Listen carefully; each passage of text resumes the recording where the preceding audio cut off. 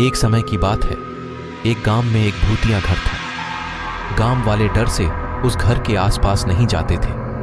गाँव वालों का मानना था कि उस घर में एक जादूगर लड़की की आत्मा रहती है। एक दिन गाँव के कुछ साहसी बच्चे उस भूतिया घर में जाने का और उस घर में घूमने का फैसला किया। बच्चे जब घर के सामने गए तो देखा सिर्फ़ खिड़की खुली हुई है और सभी उसी खिड़की से अंदर चले गए।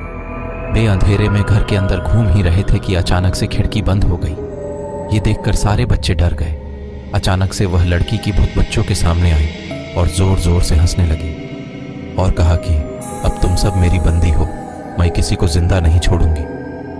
बच्चों को डर के मारे कुछ समझ नहीं आ रहा था, लेकिन फिर भी वे हिम्मत नहीं हारे और सब एक साथ मिलकर बाहर निकलने का रास्ता ढूँढने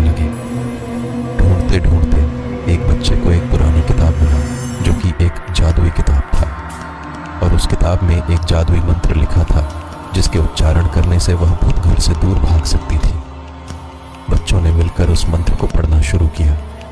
अचानक से एक रोशनी घर के अंदर आई और उस भूत को साथ ले गई।